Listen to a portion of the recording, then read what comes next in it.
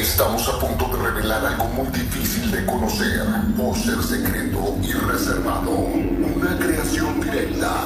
Quizá por acción del proyecto Luna o quizá por voluntad divina. Es el mayor de los arcanos. Es el arcano contemporáneo. La voz.